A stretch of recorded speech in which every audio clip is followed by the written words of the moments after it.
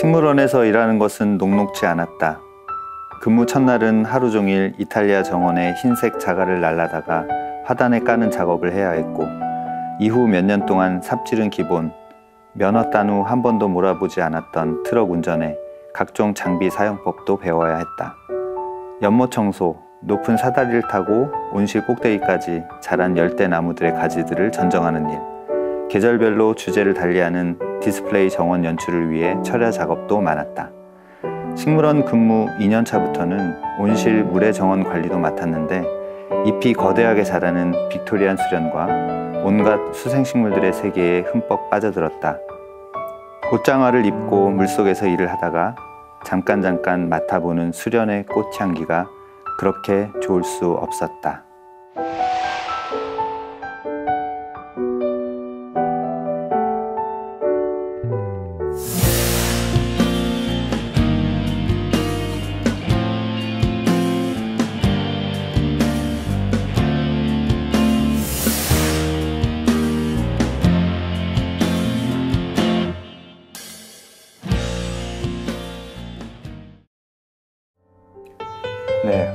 화분 하나 없는 집안을 삭막하다 여기는 것은 그만큼 우리가 자연에 기대어 살아가고 있다는 반증이기도 하겠죠.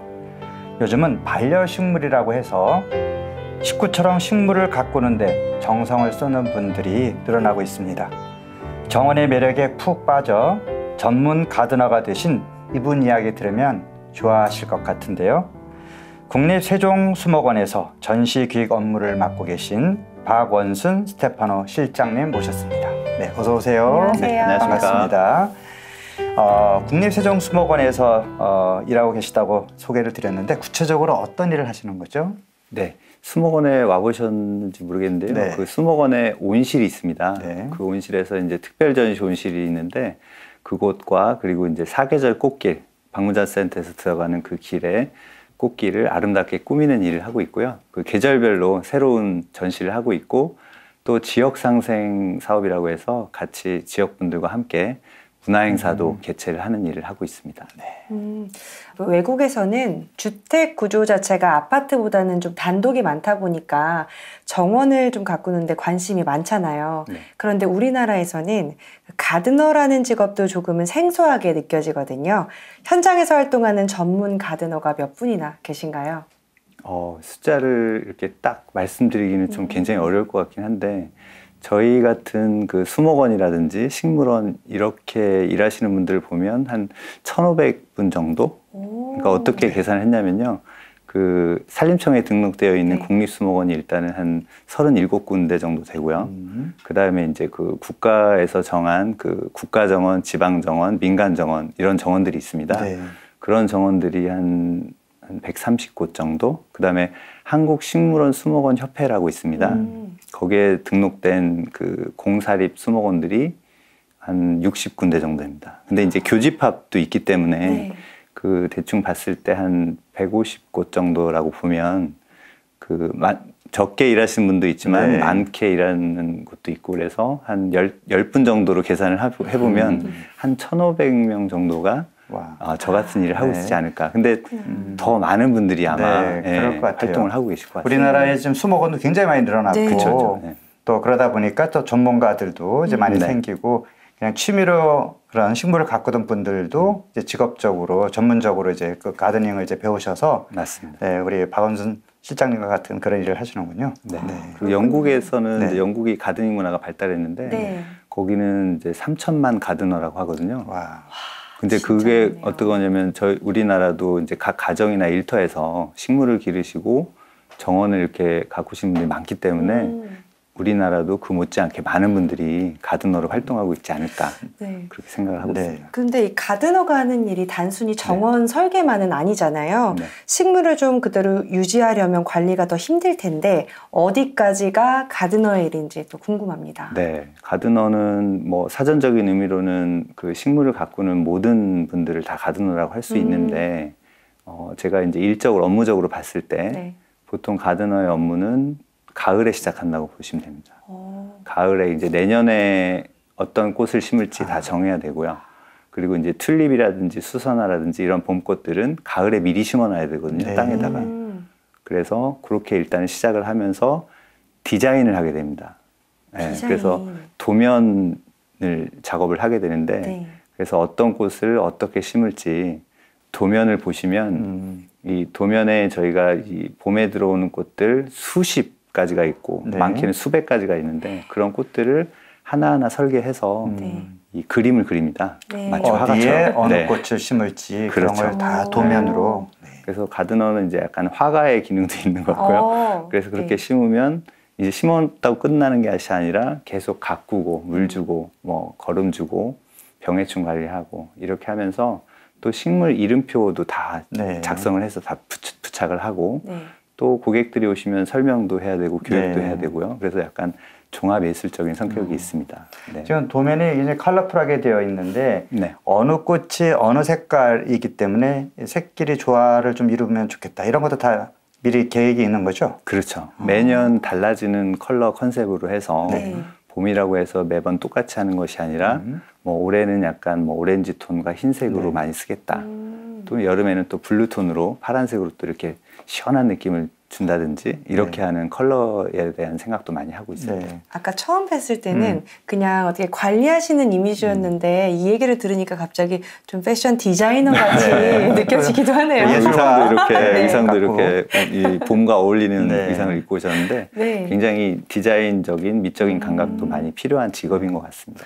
자 그러면 우리 실장님은 어떻게 이 가드너가 되시기를 결심하셨는지 어떤 계기가 있었는지 네. 또뭐 어떻게 이런 정원에 관심을 갖게 되셨는지도 궁금하네요. 저는 그 원예학을 전공을 했는데 네. 그 책을 좋아해서 그 편집 출판 편집 일을 먼저 시작을 했습니다. 네. 음. 그런데 식물에 관련된 책을 만들다 보니까 더 이 정원에 대한 관심, 더 공부하고 또 경험을 해야겠다 이런 생각이 들었고요.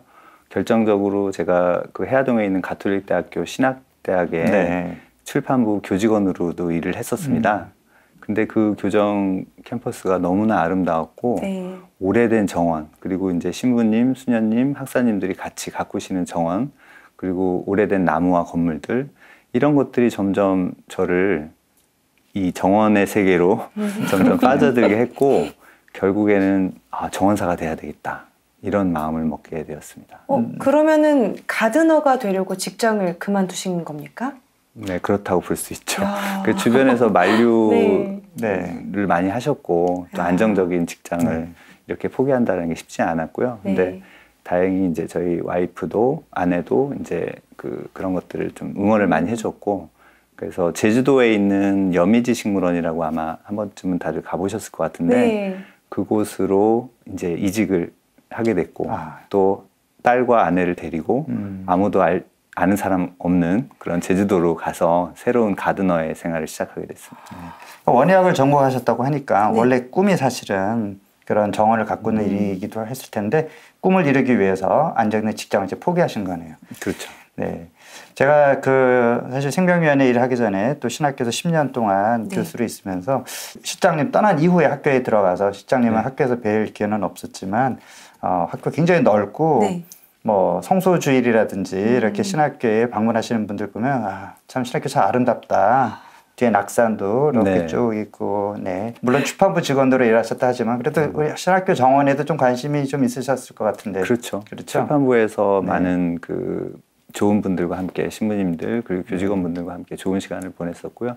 특히 뭐 양옥관이라든지 그 밑에 저희 출판부가 있던 건물 음. 네. 거기 살구나무도 있고. 그쵸 겹번나무도 이제 겹- 곧막 필것 겹번, 네. 같은데 너무나 아름다웠고요. 맞습니다. 그 매일매일 출퇴근길이 거의 새로운 그 영감 이런 네. 것들이 정원에 대한 그 길가에 핀 작은 야생화들도 너무 예뻤고요. 네. 너무 좋았던 시간이었던 것 같습니다. 네. 자, 그러면 이제 실제로 이제 가든의 길을 걷기 위해서 제주에 내려가셔서 정원 일을 하신 거잖아요. 네. 우리 또 쉽게 상상할 수 있지만 보는 거하고 가꾸는 거는 이제 그렇죠. 노동이 될 수도 있고 음, 네. 굉장히 힘이 들 것 같은데 좀 후회하거나 뭐 그런 적은 없으신죠? 후회는 없었던 것 같습니다. 네. 근데 단 힘든 것들은 음. 사실이었고요. 첫날 음. 제가 했던 일이 하루 종일 그 돌을 운반해서 그 정원에다가 네. 그 비어 있는 공간 문양하단이 있었어요. 그 넓은 정원에 그 문양하단의 사이사이를 흰색 돌을 까는 일을 하루 종일 했었거든요. 네. 그때는 정말 많은 생각을 했던 것 같습니다. 그래서 어, 그 이런 게 가드너의 네, 삶이구나. 꽃을 만드는 것뿐 아니라 돌도 날라야 되고 네. 해야 되고 아. 네. 노동을 이제 하- 하는 일이네요. 그렇죠. 네. 그래서 거의 365일 일을 하는데 매일매일 달 종류가 다른 음. 그런 일들을 했었고 하루 종일 뭐 삽질을 할 때도 있고 또 덤프 트럭이라든지 뭐 여러 가지 제가 안 해봤던 일들 네. 그런 일들이 dynamic하게 어, 많은 활동들을 했던 것 같습니다. 이걸 보시면서 음. 나도 gardener가 돼야지 하셨던 분들이 살짝 아, 안 해야 되겠다 하시는 생각이 체력부터 들 키워야 수도 되겠다. 이제 네. 있고. 네. 다들 우아한 네. 그 장면을 음. 생각을 하시잖아요. 네. gardener라고 하면 맞아요. 항상 꽃과 함께 뭐 차 마시면서 네. 대화 나누고 뭐 이런 그런 것도 있어요. 근데 네. 그 이면에는 네. 더 힘든 일도 많이 있다는 것이죠. 대단하십니다. 네. 자, 그러면 이제 제주 생활 하시다가 이제 유학을 가셨다고 얘기를 들었고요. 네. 그래서 어떻게 유학 생활 보내셨는지, 가서 뭘 배우셨는지, 어, 또 우리나라와는 또 어떤 차이가 있는지 그런 것도 좀 소개 부탁드릴게요. 네. 이렇게 일을 하다 보니까 좀 한계점이 오더라고요. 음. 그러면서 이게 외국에 100년, 200년 된 식물원들은 음. 어떻게 이 정원 관리를 할까? 이런 것이 너무 궁금했고, 음. 그래서 이제 그 자료 조사를 하다 보니까 영국과 미국에 굉장히 좋은 프로그램들이 많이 있었습니다. 아. 그래서 운이 좋게도 미국에 있는 롱우드 가든, 필라델피아 지역에 있는 네. 그 아주 음. 아주 세계적으로 유명한 정원인데 네. 그곳에 이제 좋은 프로그램이 있어서 음. 기숙사도 제공이 되고 뭐 월급도 제공이 되고요. 음. 그리고 여러 가지 혜택이 많더라고요. 그래서 그곳에 가서 음. 이제 다른 점은 이제 그곳에서 일하시는 분들은 물론 힘든 노동은 그거는 어떻게 할 수가 없는 건데 네. 굉장히 체계적으로 뭐 도구와 장비를 이용한다든지 아니면 협업을 한다든지 또 이제 업무 문장이 잘 돼 있어서 계절별로 다들 이렇게 너무 힘들게 이렇게 일한다는 느낌은 없었어요. 그래서 그런 이제 체계적인 시스템 그리고 다양한 꽃들과 식물들에 대한 정보 그리고 이런 것들을 그냥 서스름 없이 이렇게 공유하는 문화 오. 그런 정원 문화에 대한 것들을 많이 배우게 됐죠. 음. 한국에서 못 보던 식물들, 꽃들도 음. 많이 거기서 만나셨겠네요. 맞습니다. 네. 이 품종 개념이 들어가게 되는데요. 네. 뭐 백일홍, 뭐 베고니아 이런 꽃들 많이들 아실 텐데 이게 그냥 베고니아라고 해서 다 같은 베고니아가 아니고 음. 이 품종이 수백 가지가 넘거든요.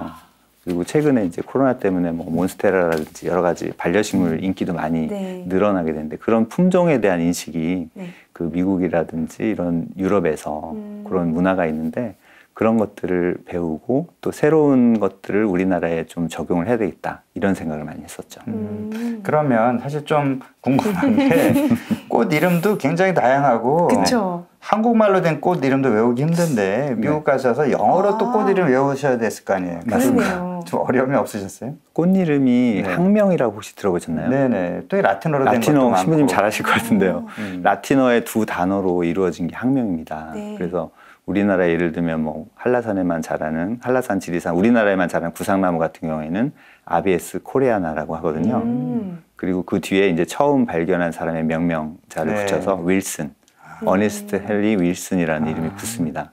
그래서 그런 학명에 대한 것들 우리나라 이름만 외우면 되는 게 아니라 학명도 외워야 되거든요. 이미 어렵는데요.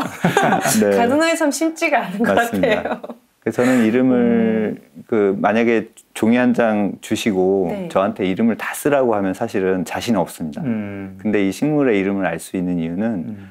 우리가 어렸을 때부터 많은 사람들 만나왔잖아요. 네. 뭐 동급생도 있고 이웃도 음. 있고 이런 사람들 만났을 때 그런 추억들이 쌓이게 되고 음. 그 사람을 알게 되고 그런데 그 사람들의 이름이 생각이 안 날 때도 있잖아요. 네. 근데 길 가다가 우연히 만약에 그 사람을 만났을 때 음. 이름이 떠오르죠. 갑자기 떠오른다. 네. 그런 거랑 좀 비슷한 것 같아요. 아. 그래서 식물도 한동안 안 봤다가 우연히 딱 만났을 때 이름이 떠오릅니다. 음. 근데 항상 같이 하는 친구들은 항상 뭐 같이 지내니까 당연히. 이름을 다 아는 거고요. 그런 맥락에서 이름을 기억하시면 좋을 것 네. 같습니다. 이제 막 6월에 들어선 어느 날 롱우드 가든에 처음 도착하여 가장 인상 깊었던 곳은 수련 연못이었다. 마치 중정처럼 온실 건물 사이에 야외 공간에 자리 잡은 이 연못 정원을 처음 본 순간의 느낌은 온갖 음식들이 가득 차려지고 많은 사람들로 북적이는 잔치집에 들어섰을 때와도 같았다. 어디부터 봐야 할까? 어린아이가 신나는 놀이기구가 잔뜩 있는 놀이터를 발견했을 때처럼 나는 바쁜 걸음으로 물의 정원을 둘러봤다. 물과 수련, 수생식물을 좋아하는 나에게 이곳은 거의 완벽에 가까울 만큼 깔끔하고 짜임새 있게 디자인된 물의 정원이었다. 넓은 면적의 물 위에 가득 채워져 있는 것은 갖가지 색깔의 꽃들과 다양한 질감의 잎들이었다. 거대한 잎을 펼치고 있는 빅토리아 수련과 육중한 몸매의 칸나, 연꽃 등 수많은 종류의 수생식물들이 모두 기가 막히도록 조화롭게 배치되어 있었다. 꽃과 물과 교감을 이루며 그 작은 미동들과 색깔, 향기를 음미하는 일은 얼마나 특별한 체험인가.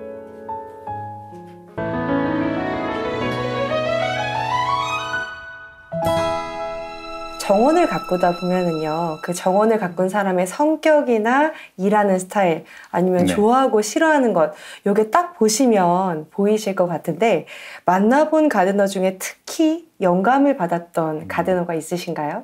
그 롱우드 가든의 그 주변에 그 네. 정원들이 굉장히 좋은 정원들이 음. 많은데요. 그래서 garden capital이라고 하거든요. 필라델피아 지역을. 음. 그래서 롱우드 가든 저는 전 세계 롱우드 가든만 제일 좋은 줄 알았는데 음. 그 주변에 좋은 정원들이 네. 아주 많이 있었는데 네. 특히 챈티클리어라고 하는 정원이 있었습니다. 네. 그 수탉이라는 뜻인데요. 아, 그래서 그 정원에서 일하는 디렉터분, 그러니까 음. 우리나라로 따지면 원장님이죠. 네. 그분이 저는 굉장한 영감을 그분한테서 음. 받았습니다. 왜냐하면 그 잔뼈가 굉장히 굵으시고 일단은 음. 한 수십 년간의 가드너 생활을 하시고 그 정원에 이제 디렉터가 되셨는데 음. 이 일하는 모든 그 동료 가드너들한테 이렇게 자유로운 그 전권을 부여하세요. 음. 그래서 이 공간은 너가 알아서 예쁘게 꾸며줘. 아. 그러면 정원사들이 거기에 자기가 온갖 그 창의력을 다 동원해서 네. 벤치도 만들고 뭐 음수대 같은 것도 아. 그러니까 겨울에 시간이 많을 때 음. 그때 이제 철공 작업, 목공 작업 음. 해가지고 그 정원에 가면 항상 새로운 오브제라든지 음. 새로운 꽃 그래서 음. 갈 때마다 기분이 좋고 네. 그래서 그 정원을 그렇게 만드신 분이 그 디렉터 그원그 gardener라고 생각하기 때문에 네. 빌 토마스라고 하고요. 아. 제가 가드너의 일이라는 책에 음. 아주 작, 작은 챕터에 이제 음. 소개를 하신 분입니다. 네. 자, 그럼 gardener의 길을 걸으시면서 그동안에 수많은 정원들을 또 보셨을 것 같아요. 네. 특별히 뭐 좋았던 정원, 마음에 들었던 정원이 있으면 어떤 것을 소개해 줄 수 있을까요? 좀 전에 말씀드린 챈티클리어 가든도 네. 제가 가장 좋아했던 정원 중에 음. 하나인데 어그 또 다른 정원이 있습니다. 워싱턴 D.C.에 음. 덤바턴 오크스라고 하는 음. 정원이 있거든요. 이름이 좀 어렵네요. 어렵죠. 워싱턴 D.C.에서 시내에서 한 30분 정도 이렇게 가면 음. 이제 조지아 타운이라는 그 네. 곳이 있거든요. 그곳에 언덕 위에 그 세워진 음. 정원인데 네. 그 스토리가 참 재밌고요. 음. 그리고 그 정원을 만든 gardener가 그 베아트릭스 퍼랜드라고 하는 어, 여성분인데 그 미국의 그 조경가 협회 음. 창립 멤버 음. 굉장히 유명하신 분이고 백악관 정원을 아, 설계할 정도로 네. 영향력이 있으셨던 분이거든요. 음. 그분이 한 수십 년 동안 음. 그 정원의 주인 부부하고 같이 정원을 음. 만들어 갔는데 음. 그 하나하나 한 땀 한 땀 만든 그 디테일 그리고 비잔틴 미술이라든지 콜롬비아 시대 이전의 어떤 예술품 그런 네. 수집품들이 골동품처럼 음. 이렇게 잘 되어 있고 그래서 그 정원은 이제 예술을 좋아하시는 분들 네. 영감을 얻고자 하시는 분들한테 굉장히 추천드리고 싶은 그런 아, 정원이고요. 그렇군요. 뭐 평범한 사람도 다 음. 각자 이제 좋아하는 식물이 있지만 우리 가드너는 또 어떤 식물들을 좋아할까? 그것도 그러게요. 궁- 궁금한데 궁금합니다. 우리 실장님은 어떤 식물을 좋아하세요? 네, 의외로 저도 음. 굉장히 평범하면서도 네. 다들 한 번쯤 보셨을 음. 그런 식물을 좋아합니다. 뭐예요? African violet이라고 혹시 들어보셨나요? 아, 바이올렛은 알겠는데 아프리카는 아. 또 모르겠네요. 그 꽃시장에 가면 네. 쉽게 구할 수 있는 꽃인데 오. 종류는 굉장히 많아요. 근데 음. 원래 아프리카가 고향이고요. 네. 우삼바라 산이라고 음. 거기는 이제 빙하기 때도 약간 변화가 없는 그런 아주 고유의 생태계를 가지고 있는 서식지. 근데 온습도가 굉장히 일정하게 유지되는 곳입니다. 음. 그래서 우리 실내에서 기르기 굉장히 좋고요. 그래요. 그리고 꽃이 창가에다가 저는 항상 놓거든요. 네. 사무실에도 있고 음. 네. 집에도 있습니다. 그래서 밝은 창가에 이렇게 놓으면은 꽃이 잘 피고 음. 또 잎을 떼서 번식을 하면 쉽게 그 번식이 되거든요. 그래서 주변 분들한테 나눔하기도 좋고 음. 그래서 그런 꽃을 제일 좋아합니다. 네. 이렇게 듣다 보니까 음, 저는 네. 사실 식물을 잘 키워내지는 못했던 것 음. 같아서 제가 문제인 걸까 아니면 식물이 까다로웠던 걸까 이런 생각도 해보게 됐었는데 네. 이 식물 중에서도요 키우기가 좀 힘들고 까다로운 식물이 있을 것 같은데 네. 우리 실장님도 다루기 힘들었던 식물이 있을까요? 많죠. 많으세요? 특히 또 생각나는 식물이 네. 있다면 가장 생각나는 거는 나무 고사리라고 혹시 들어보셨나요? 어. 고사리 종류인데 우리 네. 먹는 고사리 말고 나무처럼 이렇게 자라서 야자처럼 이렇게 어. ip이 펼쳐지는 그런 음. 식물입니다. 네네. 동남아시아 그리고 호주, 뉴질랜드 이런 쪽이 원산지인데 네. 제가 그 식물을 너무 키워보고 싶어서 여미지 식물원에 있을 때그 음. 식물을 이제 좀 구입을 했어요. 음. 근데 그 식물이 도착하는 날이 이렇게 엄청난 추위가 온 거예요. 갑자기 한파가 닥쳐가 제주도도 네. 추울 때는 엄청 춥거든요. 그쵸. 그래서 그 식물을 딱 개봉을 했더니 잎이 다 추위에 시들어가지고 비싸거든요. 아, 이런.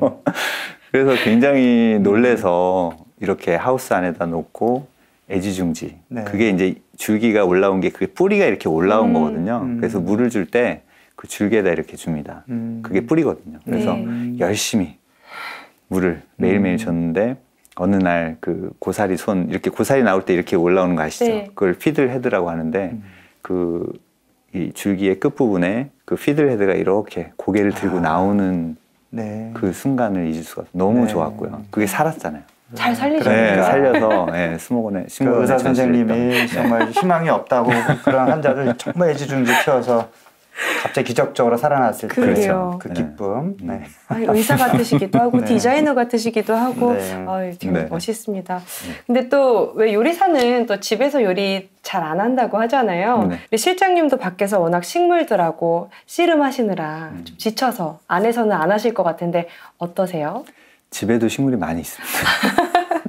안팎으로. 왜냐면 네. 그 일이니까 식물원에서 일하는 건 힘들잖아요. 근데 네. 집에 왔을 때 위로를 받을 수 있는 뭐 지- 가족 식구들도 있지만 음. 식물들이 또 이렇게 제 방 안에 또 이렇게 가득 차 있고 또 거실에도 이렇게 식물들이 있으면 그게 또 마음의 위안이 되고 네. 또 제가 그 낸 책 중에 식물의 위로라는 책이 있거든요. 네. 그게 바로 이제 그런 내용들을 음. 소개한 내용인데요. 그래서 식물들이 항상 저에게 주는 위로 이런 것들 그리고 저희 부서에서 일하는 그런 직원들 중에도 매니아들이 많습니다. 네. 그래서 그 집에 가보면 음. 저보다 훨씬 더 많이 길을 하루 종일 맞습니다. 식물을 키, 키웠는데 집에 가서도 이렇게 만지면서 사진도 찍고 네. 물도 주고 이런 친구들이 많이 있습니다. 그거야말로 찐사랑 같습니다. 아니 네. 뭐 저도 이제 식물이 주는 위로 이런 걸 네. 경험해 음. 봤고요. 이게 식물이 조금씩 자라나거나 네. 꽃이 피거나 어, 그런 것을 볼 때 정말 부모님의 아이들이 성장하는 모습을 음. 보면서 느끼는 기쁨 네. 저도 그런 거 비슷한 걸 그렇죠. 느꼈거든요. 음. 네. 그리고 이렇게 식물을 잘 키우는 방법 어떤 사람들은 정말 식물을 잘 키우는데 그 식물의 특성도 물론 알아야 될 거고 네. 환경도 중요한데 우리가 이렇게 반려 식물이라는 표현도 좀 많이 쓰는데 네.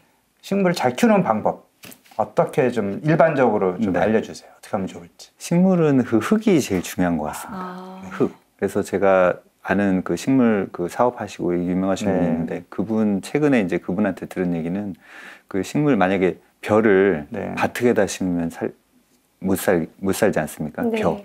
벼. 아, 벼를 벼를 네. 바트에다가 아. 또는 선인장을 논에다가 심으면 안 되죠. 죽죠. 네.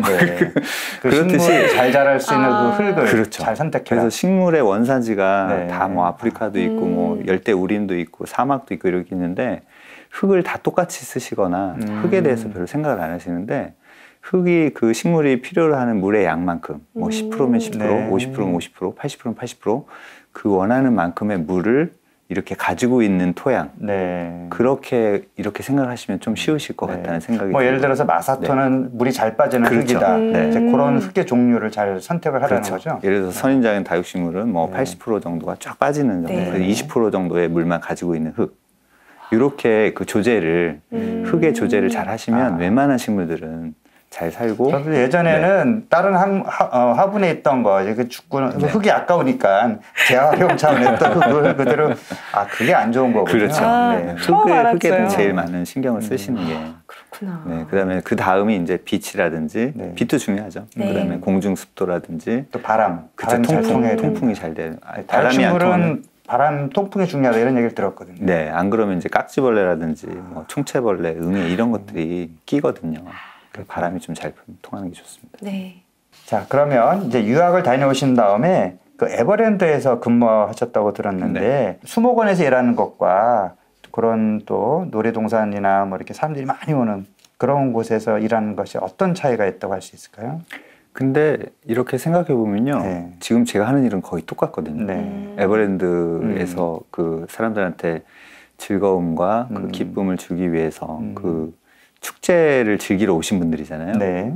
어, 그래서 굉장히 신경을 많이 썼고, 이 음. 수목원에서도 지금도 저도 이제 비슷한 일을 하고 있는데, 음. 근데 오히려 수목원에서는 음. 어떤 생각을 해야 되냐면, 이 식물이 단순히 보기 좋고 음. 즐거움만을 위한 것은 아니다. 네. 왜냐면 이제 기후 변화라든지 음. 여러 가지 지금 탄소 중립이라든지 음. 생물 다양성, 그다음에 음. 식물들이 좀 사라져가는 위기, 음. 이런 것들에 대한 메시지를 전달을 해야 되기 때문에 그래서 더, 더 많은 신경을 쓰고 있는 게 음. 사실인 것또 같습니다. 교육적인 그런 또 효과도 있잖아요. 학생들이 그렇죠. 올때 음. 네. 그런 것에 더 신경을 또 쓸 수 있겠네요. 네. 자, 어, 그런 경험들이 쌓여서 지금 이제 국립 그 세종수목원에 계시면서 여러 가지 기획 전시도 하시고 계시고 네.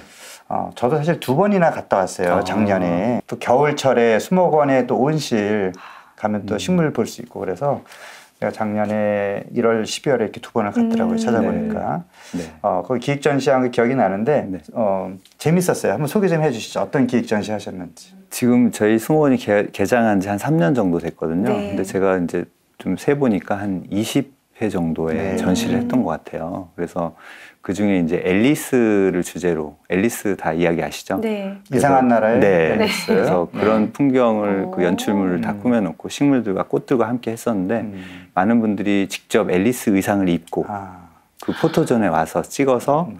SNS에 올리는 그런 모습들도 보았고요. 네. 그래서 아. 인기가 굉장히 있었고 네. 그 다음에 이제 그 여름에는 그 바닷속 풍경 왜냐하면 사라져가는 그 바닷속 생태계의 그런 음. 위기도 크거든요 지금 네. 그래서 그런 것들을 알리고자 바닷속 풍경을 연출하고 돌고래도 연출하고 아. 했는데 그때 때마침 그 유명한 드라마 그 우영우라고 하는 그 아, 변호사의 네네네. 드라마가 고래. 대- 네 고래 이야기가 네, 크게 네. 히트를 하게 되면서 의도치 않게 어. 굉장히 좀 많은 인기가. 있었고요. 네. 최근에는 또 우주를 컨셉으로 해서 어. 네 그래서 다누리호가 또 그때 뉴스가 많이 나왔었어요. 네. 저희는 1년 전부터 다 기획을 한 거거든요. 음. 그래서 우주인들도 우주 음. 탐사를 할 때 반려식물 필요하고 그 다음에 그 채소를 음. 키울 수 있는 시스템이 필요하다. 그것을 음. 소개하는 전시를 했었습니다. 음. 네. 그리고 그 밖에 이제 반려식물을 알리기 네, 위한 제가 식님 보신 게 아마 그거. 그거였어요. 네. 그린 테라피, 네. 그다음에 난초 살롱 그런 음. 그다음 공존 네. 반려동물과 반려식물이 어떻게 같이 살 수 있는지 음. 그러니까 독성 있는 식물들이 많이 있거든요. 아. 그런 것들을 알리는 전시했었고요. 최근에는 K 가든의 발견이라고 음. 해서 그 옛날에 600년 전에 우리나라 음. 조선 시대에도 아주 유명한 gardener가 있었습니다. 음. 그 선비. 와, 그래서 진짜요? 강희안 선생님의 양화소록을 네. 주제로 한 지금 특별 전시를 아. 하고 있습니다. 현재 진행 중. 진, 진행 중에 있어요. 네. 그다음에 피터 레빗이라고 사람들이 동화 아까 앨리스가 네네네. 인기가 네, 있었잖아요. 좋아합니다. 그렇죠. 그래서 동화 동화죠. 스토리 2탄으로 해가지고 피터 레빗의 비밀 정원도 지금 아. 같이 운영을 하고 있습니다. 오 이렇게 들으니까 네. 너무 가보고 싶어요 지금 당장. 네. 네. 제가 지난 12월에 갔을 때 그 공존 반려식물 그런 생각을 못했는데 반려동물하고 반려식물이 공존하기 위해서 네. 알아야 될 게 있더라고요. 아. 네. 그 식물 중에 이제 잎이 독성이 있는데 뭐 고양이나 개가 잘못해서 예. 먹으면 탈이 나거나 네. 심하면 죽을 수도 있죠. 그렇죠. 어. 네. 아, 그 정도예요. 네. 실제로 고양이가 그 백합, 그 음. 꽃가루 때문에 알러지를 일으켜서 심부정증 급성, 그래서 사망한 사건이 이제 영국에도 있었고요. 음. 그런 사례들을 저희가 이제 알려드리고 네. 주의를 당부드리는 네. 거죠. 실장님은 정원을 디자인할 때 네. 가장 중요하게 생각하시는 부분이 뭘까요? 어, 박원순표 정원의 특징 이런 게 음, 있을까요? 어, 융합형 음. 스토리가 있는 융합형 전시 음. 이렇게 얘기를 할 수 있을 것 같은데요. 네. 정원이라는 부분은 굉장히 컨텐츠가 인문학적인 내용도 있고 굉장히 많이 있는데 역사도 깊고요. 네. 거기에 이렇게 타 분야 음. 전혀 상관없을 것 같은 그런 분야를 접목시키면 음. 굉장히 색다르면서도 요즘 뭐 MZ 세대라든지 네. 많은 분들이 좋아하는 그런 전시가 나오는 것 같아요. 그래서 음, 특히 이제 스토리, 스토리. 스토리가 그냥 단순히 보기 좋은 정원이 아니라 이야기가 있는 그런 정원을 만들고 있습니다. 네. 기후 변화 때문에 이제 요즘 꽃이 피고 지는 시기를 예측하기 어렵다 네. 이런 얘기를 제가 들었는데 어떻게 이제 가든의 입장에서 보면 어떤 문제가 있다고 볼 수 있을까요? 일단은 가드너들은 이제 직업 음. 저희가 하는 일이 축제 그 꽃을 많이 이제 피게 해서 네. 그리고 그런 시즌에 맞게 축제를 개최하고 전시를 개최하는 음. 일인데 이런 것들이 굉장히 좀 어려워졌죠. 그렇겠네요. 왜냐하면 음. 꽃이 펴야 되는데 음. 축제를 오픈했는데 꽃이 음. 안 피는 경우도 있고요. 음. 또 반대로 꽃이 다 지고 난 다음에 축제는 이제 미리 다 맞아요. 세팅 됐잖아요. 아, 날짜라든지 맞아요. 홍보가 다 됐는데 축제를 오픈했는데 꽃이 다 졌어요. 올해만 해도 벚꽃이 너무 일찍 펴가지고 최고 네. 그렇죠. 네. 올해가 제일 심했습니다. 네. 빨리 피고 빨리 갔어요. 네, 그래서 그 지자체 그 음. 어떤 분은 아이디어를 내서 음. 꽃이 다 이미 졌는데 축제를 취소할 수는 없으니까 음. 축제 제목을 어떻게 바뀌었냐면요. 음. 그냥 하는 축제. 음. 꽃이 없지만 그래도 와서 즐기자 같이 네. 이런 아름다운 봄을 즐기자라는 컨셉으로 그냥 하는 축제라고 이렇게 했다고 하는 에피소드도 있거든요. 근데 음. 이게 우- 웃을 일은 아닌 것 같고요. 이게 음. 기후 변화가 이렇게 그만큼 네. 좀 심각해졌다는 상황인 것 같습니다. 네. 음. 음, 이렇게 힘든 일인데도 멈출 수 없는 정원의 매력이 뭘까요? 어떨 때 가든으로서 가장 또 보람을 느끼시는지도 궁금합니다. 저희가 정원을 만들고 꽃축제를 개최하고 이러면 많은 분들이 찾아오시잖아요. 네. 근데 이렇게 오셨을 때 어, 다들 웃어주시고 음. 또 아이들도 이렇게 중학생 막 그 고등학생들 그 학업에 굉장히 경무 그 시달리는 그런 상황에서 꽃을 보고 음. 마치 이렇게 해맑게 웃고 이런 모습을 봤을 때가 가장 보람이 있는 것 같습니다. 네. 그리고 뒷셈 미소라고 있습니다. 꽃을 봤을 때 가장 자연스러운 웃는 얼굴이 나온다. 네. 네, 그런 미소를 지을 수 있는 것이 바로 정원인 것 같습니다. 다시 한번 말씀해 주세요. 무슨 미소요? 뒤센 미소, 뒷센. 뒷센 미소. 네, 심리학자의 이름이거든요. 아. 아. 그분이 이제 연구를 많이 했는데 음. 어떨 때 사람의 그 웃음 근육, 얼굴에 있는 음. 수십 개의 근육이 가장 그잘 아. 웃는 얼굴이 될까. 그래서 그쵸. 뭐 다양한 상황에 이제 실험을 해본 거죠. 근데 꽃을 주었을 때 그 사람이 웃는 모습이 마치 그 조지 클루니의 어떤 그 네. 커피 선전할 때 그런 얼굴처럼 그런 어떤 네, 네. 자연스러운 미소가 나온다는 것이죠. 정말 예쁜 네. 꽃을 보면서 화를 내는 사람은 없겠죠. 네. 그렇죠. 네. 그래서 사실 더 많은 정원, 더 많은 수목원이 생기면 좋겠다 이런 생각이 음. 들고요. 네. 그러면 이제 우리 가드너 박원순 실장님께서 앞으로 뭐 하고 싶은 일, 음. 좀더 어, 이런 방향으로 또 나는 더 연구를 해보고 싶다. 뭐가 있을까요? 저희 한국 수목원 정원 관리원이라고 하는 저희 기관 이름이 네. 저희 세종수목원 국립세종수목원이 있고 네. 국립백두대간 수목원이 있고 이렇게 계속 만들어 나가고 있거든요. 네. 어, 한국 수목원 정원 관리원은 이제 산림청 산하 공공기관으로서 음. 이렇게 지금 신부님 말씀하신 다양한 이제 정원 관련된 사업을 펼치고 있고요. 음. 그리고 각 식물 수목원들이 그, 그 기후 변화에 대응한 그 지역 거점이 되는 것이죠. 음. 그래서 그 지역 온대 중부 저희는 이제 온대 지역 그다음에 뭐 백두대간 수목원은 백두대간 지역의 어떤 네. 식물상 음. 그렇게 해서 기후 변화에 대응을 하고 음. 그리고 더 나아가서 제가 하고자 하는 것들은 이 보다 많은 분들이 정원을 좋아하고 즐기고 또 도시 안에서도 얼마든 정원을 많은 정원을 네. 만들 수가 있거든요. 음. 그래서 저희가 하고 있는 생활 정원이라든지 음. 뭐 교육 정원이라든지 치유 정원 이런 것들이 다 한데 이 전국적으로 이런 게 확산이 되면 네. 이렇게 나무도 많아지고 숲도 많아지고 음. 이렇게 되면서 기후 변화에 근본적인 네. 대책이 될 것 같고요. 또 어린이들은 학생들은 정원에 와서 교육을 받을 때 가장 창의력이 넘치고 음. 여러 가지 전인 교육 발달하는 데 굉장히 중요한 역할을 하거든요. 네. 그래서 앞으로 정원이라는 키워드는 굉장히 중요한 영역이 되지 않을까. 네. 그 일에 있어서 좀 도움이 되고자 합니다. 그렇군요. 어, 정원이 단지 뭐 꽃과 나무만 보는 것이 아니라 기후 변화도 대응할 수 있고 그렇죠. 네. 그다음에 창의력 또 키워주고 무엇보다도 이제 지친 도시인들에게 음. 휴식이 될 수 있고 힐링이 되는 그런 공간이 현대인에게 가장 필요한 게. 이 식물 그리고 네. 정원 가든이 아닐까 싶습니다. 네. 맞습니다. 그 안에서 창조의 또 신비, 또 네. 하느님의 손길도 느낄 수 있고요. 그렇죠. 네, 앞으로 좀더 수목원 정원들이 많이 많이 생기면 좋겠다는 생각이 듭니다. 네. 네, 식물을 키우는 것도 결국 소통의 방법을 배우는 일인 것 같습니다. 친구 같은 반려식물 우리 또 키워보는 거 좋겠고요. 또 많은 수목원, 정원도 우리 방문하면서 자연의 아름다움, 신비를 느끼면 좋겠습니다. 오늘 귀한 시간 내주셔서 고맙습니다. 네, 감사합니다. 감사합니다. 그대가 바람이면 내게로 와